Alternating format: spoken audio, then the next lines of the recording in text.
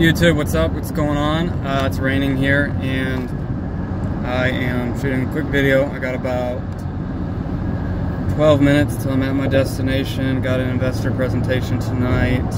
Um, just a quick update. Yeah, I'm still suffering from like the chronic fatigue and stuff, but that's really you know related to the poor sleep and, and the stress factors that I discussed in my other videos. But um, overall doing you know doing better. Uh, made a friend, you know, he's a really great guy, um, angel from God, and it's really been helpful to, to kind of hear his story and how he's overcome some things that I'm going through, and I'm going through some things that he's he's trying to overcome. And I just wanted to say, from a physical standpoint, um, mostly, you know, unless you consider fatigue you know, pain and occasional flu symptoms. Um, I'm pain free. I overcame chronic headaches. I overcame chronic, uh, you know, I had, a, I had a chronic migraine, and I mean, I'm talking for over a year.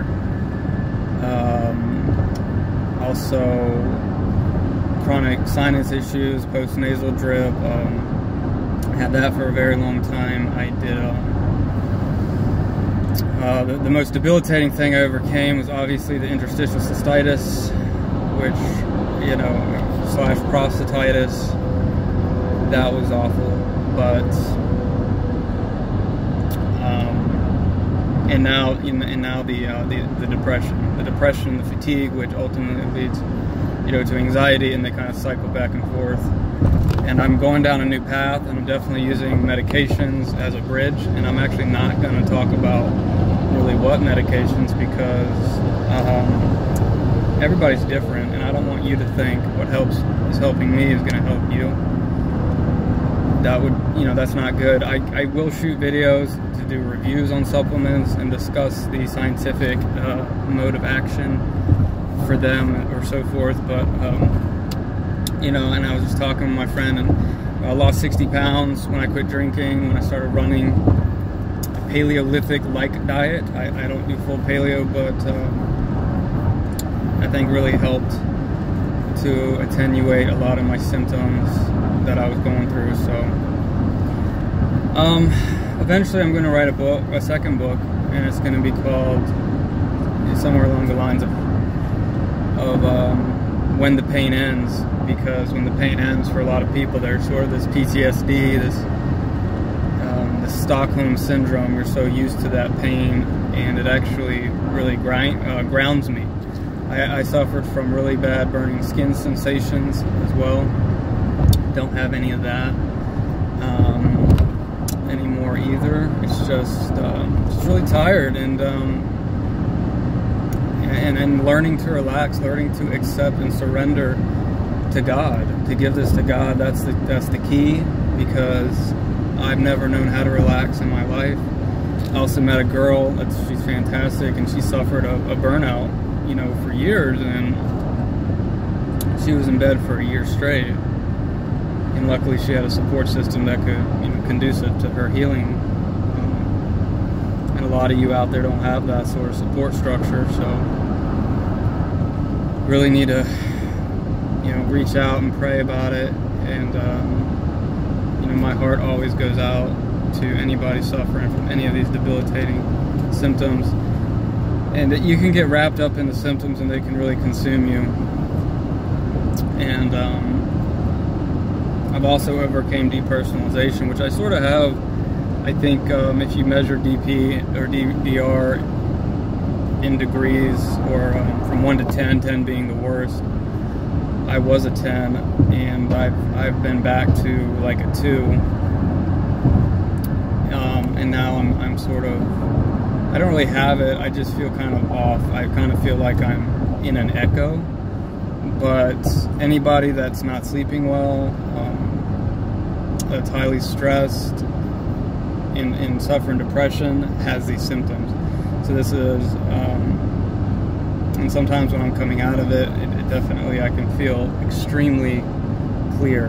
Um, I have those moments in the sunlight during certain times um, when I'm not when I'm not having to juggle a lot. you know when I'm when I'm just waking up or when I'm going to bed and things sort of like ease easing and pressure and the stress is kind of gone. You know, that's when um, I start to feel a lot more clarity and but things are, are picking up or if I have to go to an event, you know, it's very hard to to do life, you know. But that's when you have to redefine what life is because for me for a long time life was just about making money and being in that success model was ingrained in me and it really took me on and God really challenged me with that and you know God and myself because I led a life away from nutrition away from